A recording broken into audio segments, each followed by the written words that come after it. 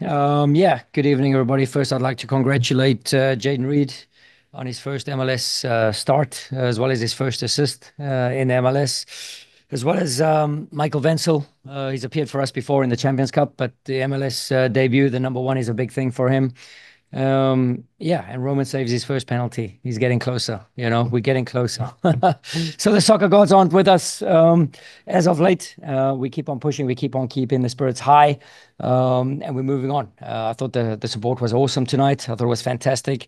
Um, and just the acknowledgement of the fans after the game when we did the round, Uh, very supportive, very embracive of what uh, of what we're trying to do here. Um, So appreciate them for that. Um, and then, yeah, it's been a tough couple of weeks. Uh, so, you know, get the batteries recharged now, and uh, we look forward to a Vancouver trip. Coach. Thank you.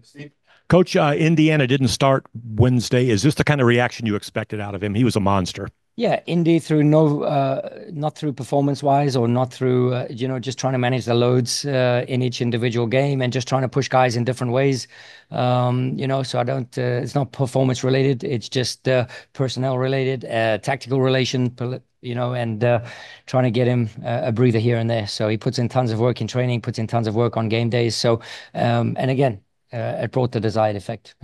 Were you happy with the offense tonight? You created some chances. You were on your front foot. Yeah, really happy. I thought we created a lot of moments through through the lines. I thought uh, we could have been cleaner in transition a little bit. Some wayward passes.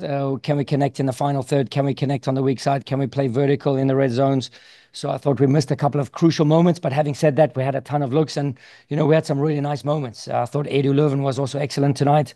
Um, and just his willingness to defend in the 94th, 95th minute, a sprint at full pace to do what's best for the team, and that just shows what kind of teammate he is. So, um, you know, I thought I saw many positives tonight, and we'll take these away for sure. Charlie? Hey, Coach. Hey, Charlie. Stats show that. Pardon me. Stats show that Bürki saved just over two goals above expected. Single-handedly, I mean, not single-handedly, but was a big piece in keeping you guys in the game. Could you speak on how he's been performing lately?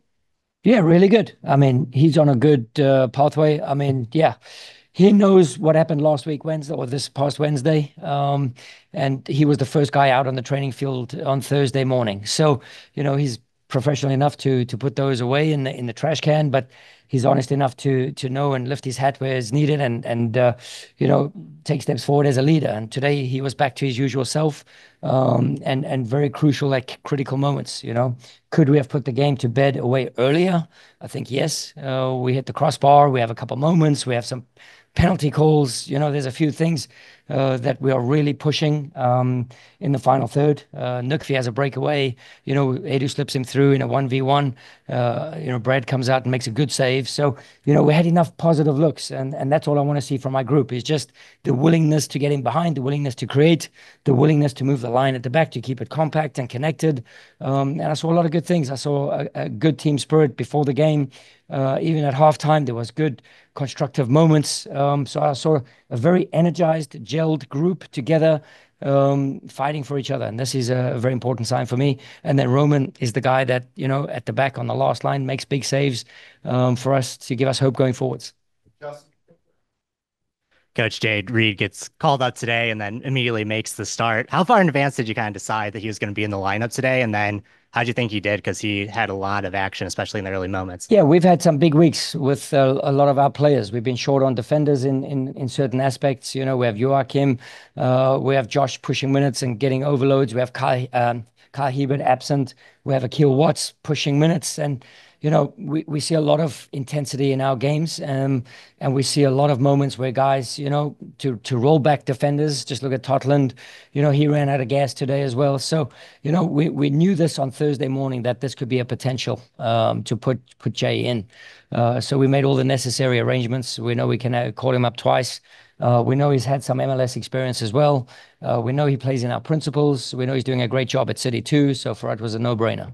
Was that simple as you know seeing his City 2 performances and just knowing that he'd be able to step in and kind of do that similar role? Yeah. We I mean, we train very very similarly.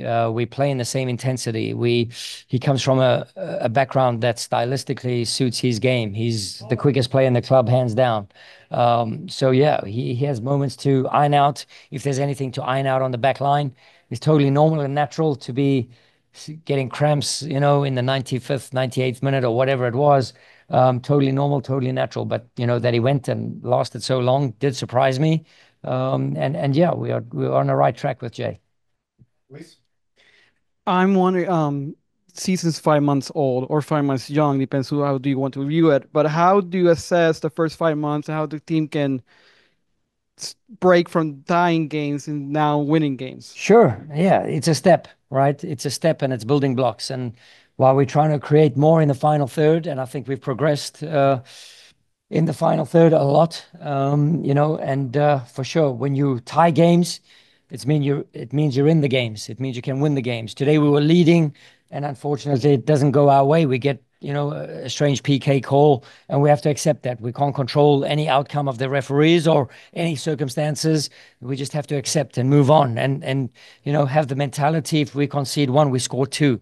Um, and today I saw a group that was hungry and showed desire to score the second.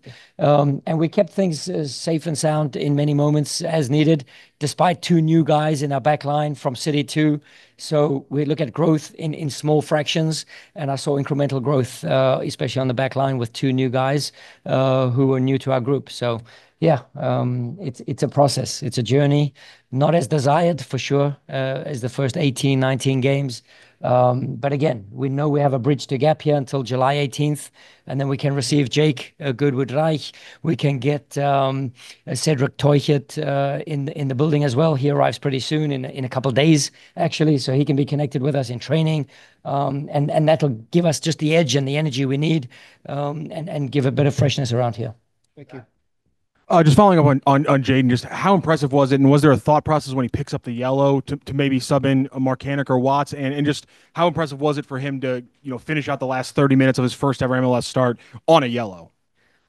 Yeah, I don't. I mean, I don't look too much into that. These guys have good experiences, you know, They they know what's needed. And Jake, you know, yeah, I mean, I never want to compare, you know, I was a quick play on the back line. So if you do get yourself in a pickle, you have the pace to at least get back without having to make the the crazy fouls, right? Uh, to to move your feet quickly, stay on your feet. Brooks Lennon is a really good uh, overlapping wingback. He's one of the best, if not the best crosser in the league. Um, so Jay had his hands full, and I thought he dealt with it really, really well. So um, credit to him, credit to City 2 staff himself, uh, developing in the right way, being open-minded um, to grow within our City 2 program. Um, and now, you know, the platform's open for competition. You know, I've just spoken to all the defenders. Competition is a good thing. You know, it keeps us all hungry, keeps the desire there. We can't rest on what we've done, you know, a few weeks ago. Um, and and making sure that we keep guys, you know, really edgy and, and wanting to perform the best that they can in training. And earlier you talked about, you know, being happy with the amount you guys were pushing the back line uh, offensively. That that it seemed to slow down a little bit around the 60-minute mark. You know, what were they doing to kind of slow down and take away those runs on the back line? Yeah, so I mean, they started floating Xande Silva Um, in the half space. Uh, so, you know, with our orientation, always very connected, always, uh, yeah, our sixes were over-connected at times. So, you know, I just asked Durkin just to open up the shoulder a little bit just to see because Michael Wentzel likes to step in, but sometimes you have to shift and and get across on the back line. And then they work the ball across one more time and then find Silva. Um, and I think you saw it one play, he turns Michael, Michael arrives too late. And then all of a sudden it's a pass, pass, weak side, and Roman comes up big for us. So, you know, I think that was some of the things from the second half that we had to uh, mitigate as the game went on. Coach, kind of touching on that formation shift, Caden Glover comes in for his longest uh, appearance, I think, especially here at City Park. He hasn't made an appearance with the first team. How do you feel like he did in those moments? You're chasing the lead at that point. It was a big performance for him. Yeah, for us not to chase the lead and get out of shape. You know, for us, the discipline in in our organizational structure against the ball is very key. Um, Yeah, so we knew as we had to make changes, we had to push Edu in the 10. You know, we brought on some fresh legs with uh, Jabula Blom. Um, yeah, but I thought Caden kept it to one side. He did exactly as we asked him to do. Uh, he had a couple of nifty touches. He could have scored on a set piece, you know, where, yeah, he just volleys it over the bar. So he got really close a few times and uh, it looked like he enjoyed himself. You know, he's smiling after the game. So these are big moments for us as a club. These are big moments for us, you know, as, as, as a part of a program, even when it's not going our way, to make sure we believe in our process. Um, and this is very important. And uh, yeah, we love we love having these guys around us and uh, yeah, to see them embracing the challenge and taking on and, and you know, creating competition with our group. It's good.